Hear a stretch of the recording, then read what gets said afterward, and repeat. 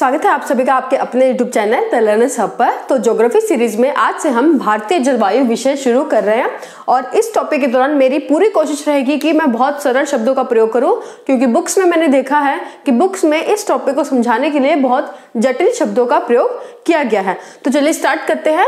तो सबसे पहले तो हमारा इस टॉपिक को शुरू करने से पहले क्वेश्चन क्या है कि भारत में किस प्रकार की जलवायु पाई जाती है? तो भारत में जो है आपकी उष्ण कटिबंधीय मानसूनी जलवायु पाई जाती है। और जो उष्ण कटिबंधीय मानसूनी जलवायु है, ये अपने आप ही दो शब्दों में बना है और इन्हें हम अलग अलग करके पढ़ेंगे ताकि हमें और अच्छे से समझ में आ पाए। तो उष्ण कटिबंधीय मानसूनी जलवायु आपके भारत में पाई जाती है और जैसा कि मैंने अभी कहा कि यह दो शब्दों से मिलकर बना है, एक तो है उष्ण कटिबंधीय और दूसरा है मानसूनी प्रकार की। तो किस तरह भारत में उष्ण कटिबंधीय मानसूनी जलवायु पाई जाती है? तो हम देखते हैं कि पहले उष्ण कटिबंधीय से हमारा क्या तात्पर्य है? तो हमने अपने पहले वीडियो में देखा था कि पृथ्वी को हम बीचों बीच दो भागों में किस रेखा द्वारा विभाजित करते हैं? विषुवत रेखा, यानी कि ज़ीरो डिग्री अक्षांश जो है हमारी पृथ्वी को दो बराबर भागों में बांट देती है, उत्तरी गोलार्ध एवं दक्षिणी गोलार्ध। इसके विषय में आपको देखना हो तो आप मेरे जो स्टार्टिंग की इंडियन ज्योग्राफी की वीडियो है, आप उसमें देख सकते हैं। और हमने देखा था कि इसके उत्तर में, यानी कि साढ़े तेईस डिग्री पर, ये कौन सी रेखा है आपकी? कर्क रेखा और दक्षिण में साढ़े तेईस डिग्री अक्षांश रेखा है आपकी मकर रेखा। तो ये कर्क रेखा और ये मकर रेखा। और ये जो विषुवत रेखा है, इस पर जो सूर्य की जो किरणें हैं, वे वर्ष भर क्या है, आपकी सीधी गिरती है। तो मान लीजिए आपका यहाँ पर सूर्य है तो जो सूर्य की किरणें हैं, वे वर्ष भर आपकी जो विश्वत रेखा है, उस पर सीधी पड़ती है। इसलिए वर्ष भर आपके इस क्षेत्र में क्या रहते हैं? वर्ष भर इस क्षेत्र में आपके गर्मी रहती है। और जो हम तो इस क्षेत्र को हम क्या कहते हैं? उष्ण कटिबंधीय प्रदेश कहते हैं। और ज़ीरो डिग्री अक्षांश के उत्तर में हमने कहा, ये कौन सी रेखा है? कर्क रेखा और दक्षिण में है मकर रेखा। तो जो इसका उष्ण यानी कि जो हमारी सूर्य की किरणें जो सीधी विश्वत रेखा पर पड़ रही है, इनका प्रभाव आपके कर्क रेखा एवं मकर रेखा पर भी रहता है। मेरा कहने का तात्पर्य क्या है कि जो आपकी सूर्य की किरणें हैं, उनका वे आपकी जो वर्ष भर कहाँ सीधी पड़ती हैं, आपकी विश्वत रेखा पर पड़ती हैं और वर्ष भर जो यहाँ का तापमान है विश्वत रेखा से विश्वत रेखा पर और साथ ही इसके उत्तर में साढ़े तेईस डिग्री कर्क रेखा तक एवं दक्षिण में साढ़े तेईस डिग्री मकर रेखा तक। तो इस इस कटिबंध में जो तापमान है, वर्ष भर अधिक रहता है, यानी कि वर्ष भर यहाँ पर अत्यधिक गर्मी पड़ती है। इसलिए हम इस क्षेत्र को किस नाम से जानते हैं? उष्ण कटिबंधीय क्षेत्र के नाम से जानते हैं। तो ये आपका जो क्षेत्र कौन सा होगा? साढ़े तेईस डिग्री, यानी कि ये क्षेत्र और ये क्षेत्र, यानी कि साढ़े तेईस डिग्री नॉर्थ अक्षांश और साढ़े तेईस डिग्री दक्षिणी अक्षांश, या फिर आप कह लें कर्क रेखा से लेकर मकर रेखा तक का जो आपका क्षेत्र है यह आपका क्या है? उष्ण कटिबंधीय क्षेत्र है, जहाँ की वर्ष पर अत्यधिक गर्मी पड़ती है और अत्यधिक जो उष्णता होने के कारण यहाँ पर क्या होगा? यहाँ पर जो जल स्रोत होंगे, वे अत्यधिक क्या होंगे? वाष्प बनकर वातावरण में जाएँगे और वे क्या करेंगे? वर्षा करेंगे और इसी कारण से यहाँ वर्ष भर वर्षा भी होती है। तो हमने देख लिया कि उष्ण कटिबंधीय हम उस क्षेत्र को कहते हैं जहाँ वर्ष भर जो है आपके गर्मी रहती है, सूर्य की सीधी किरणें पड़ने के कारण। अब हम देखेंगे कि भारत को क्यों उष्ण कटिबंधीय कहना है, जबकि हमने देखा, हमने अपनी फ़र्स्ट वीडियो में पढ़ा था कि भारत की स्थिति क्या है? भारत यहाँ स्थित है। भारत के जो बीचों बीच कर्क रेखा गुजर रही है तो ये आपकी कर्क रेखा है। तो ये हमने कर्क रेखा बनाई है, जो कि भारत के बीचों बीच गुजर रही है। और कर्क रेखा का जो दक्षिणी भाग है, वह तो हमने देखा कि कौन से क्षेत्र में आपका पड़ता है? उष्ण कटिबंधीय क्षेत्र में पड़ता है, जबकि जो इसका ये उत्तरी भाग है, यह तो आपका उत्तर के क्षेत्र में, यानी कि इसके उत्तर में कौन सा क्षेत्र है? शीतोषण कटिबंधीय क्षेत्र है, वह तो उस क्षेत्र में पड़ रहा है। फिर ऐसा क्यों है कि हम पूरी भारत की जो जलवायु को क्या कह रहे हैं? उष्ण कटिबंधीय कह रहे हैं। तो यहाँ पर हम इसका वो देख लेंगे। तो अभी मैंने कहा कि जो भारत का जो उत्तर वाला क्षेत्र, यानी कि इसके उत्तर वाला क्षेत्र है, आपके कौन से क्षेत्र में है? शीतोषण कटिबंधीय क्षेत्र है, जहाँ उत्तर में आपका यहाँ पर क्या है? नॉर्थ पोल और ये है साउथ पोल तो उत्तरी ध्रुव और दक्षिणी ध्रुव पर क्या है? आपके अत्यधिक ठंड पड़ती है। और इसी कारण से जो आपकी ठंडी हवाएँ हैं, आपके इस क्षेत्र में आती है। यानी कि उत्तरी ध्रुव से चलकर जो आपकी ठंडी हवाएँ हैं, वे आपकी जो रूस के जो पूर्वी साइबेरिया प्रदेश है, आपका साइबेरिया प्रदेश से होकर, चीन के क्षेत्र से होकर वे ठंडी हवाएँ यहाँ पर भी आ सकेंगी। तो लेकिन हम क्यों नहीं भारत के क्षेत्र को शीतोष्ण कटिबंधीय प्रदेश कहकर क्या कह रहे हैं? उष्ण कटिबंधीय प्रदेश, जबकि यह क्षेत्र कहाँ है आपका? शीतोष्ण कटिबंधीय प्रदेश में। तो ये कारण देखिए। मैंने कहा ध्रुवीय प्रदेश से जो ठंडी हवाएँ हैं, वे आपके रूस के साइबेरिया प्रदेश से होकर, उसके बाद चीन से होकर भारत में प्रवेश नहीं कर पाती। ये चीज़ याद रखें, भारत में प्रवेश नहीं कर पाती। क्यों? क्योंकि भारत में हमने पढ़ा था कि उत्तर से जो उत्तर पूर्वी क्षेत्र तक क्या है, आपका हिमालय क्षेत्र है, जो कि आपकी जो ध्रुवीय प्रदेश से आने वाली जो ठंडी हवाएँ थी, उन्हें क्या है? रोक लेता है। और इसी कारण से जो भारत की जलवायु को हम क्या कहते हैं? उष्ण कटिबंधीय जलवायु कहते हैं। क्योंकि हमने यहाँ देखा, यहाँ आपके क्या है? हिमालय क्षेत्र है, जो कि आपकी शीतोषण, जो शीत, जो पवने थी, उन्हें रोक देता है। इसलिए जो शीत पवनों का प्रभाव भारतीय क्षेत्र में नहीं हो पाता। इसीलिए यही कारण है कि भारतीय क्षेत्र में उतनी अधिक ठंड नहीं हो पाती, जितनी आपके उत्तरी ध्रुव क्षेत्र, यानी कि जो आपके चीन रूस लंदन इन क्षेत्रों में जितनी ठंड पड़ती है। और इसी कारण से ही भारतीय जलवायु को हम शीतोष्ण कटिबंधीय जलवायु कहने के बजाय क्या कहते हैं? पूरे संपूर्ण देश में हम उष्ण कटिबंधीय मानसून जल, जलवायु कहते हैं। तो यहाँ पहले हम उष्ण कटिबंधीय का हमें तात्पर्य पूरा हो गया है कि उष्ण कटिबंधीय यह तो हमारा पूरा पहले ही क्लियर था क्योंकि दक्षिणी क्षेत्र तो हमने देखा पहले ही हमारा उष्ण कटिबंधीय क्षेत्र में आ रहा है।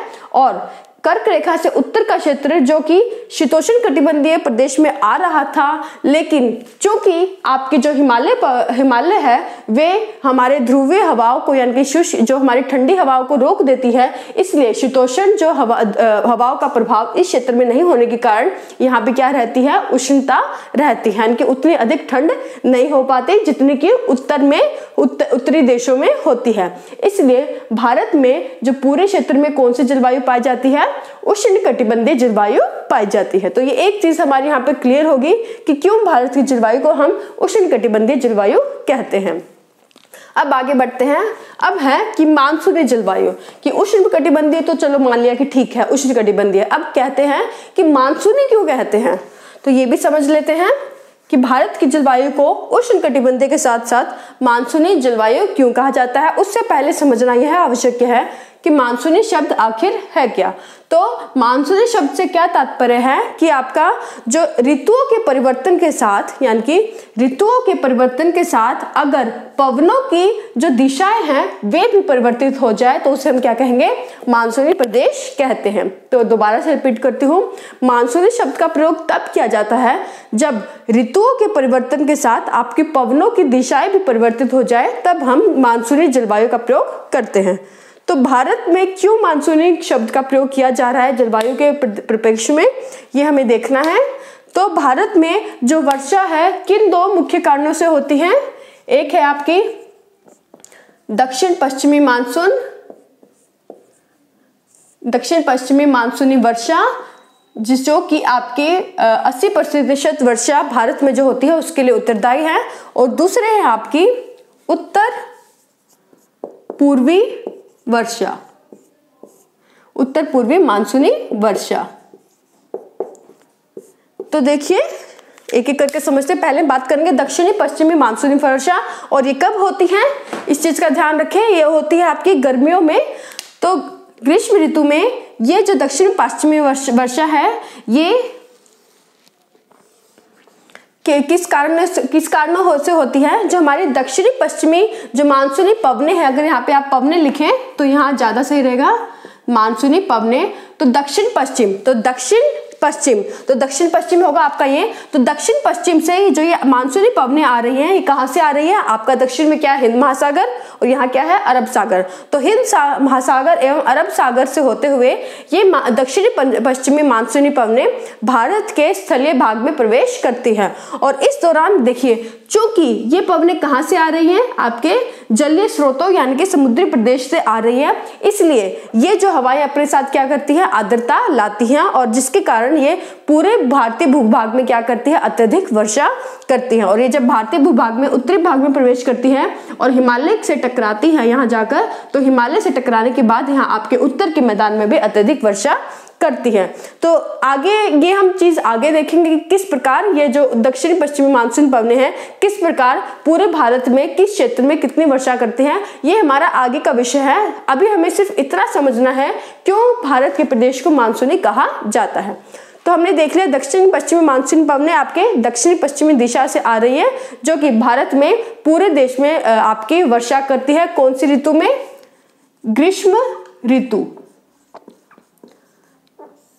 अब दूसरा है आपका उत्तर पूर्वी मानसूनी पवने, जो उत्तर पूर्वी मानसूनी पवने, उत्तर पूर्व, यानी कि उत्तर ये आपका है, पूर्वी है। यानी कि ये जो पवने कहाँ से आ रही है? उत्तर पूर्व, यानी कि इस दिशा से आ रही है। अब देखिए, चूँकि जो उत्तर पूर्वी मानसूनी पवने हैं, ये आपकी कहाँ से आ रही हैं? ये आपके स्थलीय भाग से आ रही है और ये कहाँ से आ रही थी? आपके समुद्री भाग से, यानी कि जल स्रोतों से आ रही थी। इसलिए ये अत्यधिक आर्द्रता अपने साथ ग्रहण करके लाती है। इस कारण से ये पूरे भारत में अत्यधिक वर्षा करती है। लेकिन जो आपके उत्तर पूर्वी मानसूनी पवने हैं चूँकि ये स्थलीय भाग से होकर आ रही है। इसलिए ये, इनमें ये क्या होती है? आर्द्रता होगी नहीं तो क्या होंगी? शुष्क होंगी, शुष्क पवने होती है। इसलिए ये वर्षा नहीं करा पाती। लेकिन इन्हीं का एक भाग, यानी कि वे उत्तर पूर्वी पवने जो कि आपके भारत के पूर्वी भाग से होकर आती है, ये पवने देखिए, यहाँ से आएँगे और यहाँ फिर क्या करेंगे? भारत में यहाँ क्या है आपकी बंगाल की खाड़ी? तो बंगाल की खाड़ी में जब ये पवने प्रवेश करती हैं तो ये अपने क्या करेंगी? पहले शुष्क थी लेकिन जैसे ही बंगाल की खाड़ी में प्रवेश करेंगे, क्या करेंगे? अपने क्या करेंगे? आर्द्रता ग्रहण कर लेंगी। और उसके बाद जब ये भारत के तमिलनाडु के तट, यानी कि जब कोरोमंडल के तट से टकराएँगी तो कोरोमंडल के तट में प्रवेश करने के बाद टकराने के बाद, ये वहाँ पर चूँकि इन्होंने आर्द्रता ग्रहण की हुई है, ये वहाँ पर क्या करेंगे? अत्यधिक वर्षा करती है। और ये जो वर्षा है, यहाँ पर जो कोरोमंडल तट पर होती है, कौन से मौसम में होती है आपके? सर्दियों में, यानी कि ये हमने देखा था ग्रीष्म ऋतु में और ये आपकी होती है सर्दियों में। तो ये चीज़ें हमने देख ली। तो दक्षिणी पश्चिम, अभी हमने देख रहा है कि मानसूनी जलवायु क्यों कह रहे हैं? तो मैंने बताया था मानसून जलवायु उसे कहते हैं जब ऋतुओं में परिवर्तन के साथ आपकी जो पवनों की दिशाएँ हैं, वे भी परिवर्तित हो जाए। तो ये आपकी क्या है? ग्रीष्म ऋतु और ये है आपकी सर्द ऋतु यानी कि सर्दियों का मौसम है। तो ग्रीष्म ऋतु के दौरान आपकी हवाएँ कैसी है? दक्षिण, पश्चिम यानी कि इस दिशा में है। और जैसे ही ऋतु परिवर्तन हो जाए, यानी कि गर्मियों से जब सर्दी आ जाती है तो ऋतुओं के परिवर्तन के साथ जो आपकी पवने हैं, उनकी दिशा भी परिवर्तित हो रही है। कैसे? तो सर्दियों में कौन सी हो गई? उत्तर पूर्वी यानी कि ये दिशा। तो अगर आप देखें कि ऋतुओं में परिवर्तन के साथ जो पवनों की दिशाएँ हैं, वे भी परिवर्तित हो रही है। इसीलिए भारत की जो जलवायु है, वो क्या कहलाती है? मानसूनी जलवायु कहती है। इसलिए संपूर्णतः हम भारत की जलवायु को क्या कहते हैं? उष्ण कटिबंधीय मानसूनी जलवायु कहते हैं। तो आज समझ आ गया होगा आपको कि क्यों भारत की जलवायु को उष्ण कटिबंधीय मानसूनी जलवायु कहते हैं। अगर फिर भी अगर आपको समझ नहीं आया तो प्लीज़ मुझे कमेंट करके बता दें। बाकी हम लाइव क्लास जब लेते हैं, वहाँ आप पूछ सकते हैं। तो मानसून जलवायु का क्या तात्पर्य है और उष्ण कटिबंधीय का क्या तात्पर्य है, ये हमने आगे देख लिया आज देख लिया है। और इससे आगे की वीडियो में हम समझेंगे कि जो ये वर्षा जो अभी हमने थोड़ा देखा है, इसको हम पूरा डिटेल में पढ़ेंगे कि किन प्रदेशों में भारत में अत्यधिक वर्षा होती है, क्या कारण होता है, क्यों किन राज्यों में वर्षा नहीं हो पाती, इन सब के बारे में हम इससे नेक्स्ट वीडियो में जानेंगे। आज के लिए इतना ही। वीडियो अगर अच्छी लगे तो प्लीज़ लाइक करें और अधिक से अधिक शेयर करें। तो thank you thank you so much